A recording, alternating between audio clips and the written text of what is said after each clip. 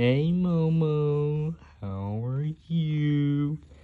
Who's your good kitty? Who's the best kitty? I mean, clearly not you. My uh, my cat's better. But still, you know, we can never choose favorites.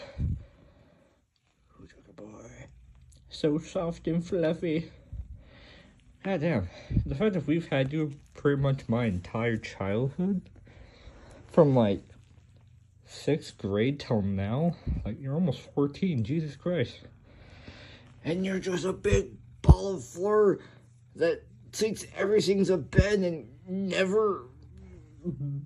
Oh, okay, you always open the damn door. A door is to prevent you from coming upstairs, but you always open it somehow. Because you are just a fat, fluffy, adorable piece of shite.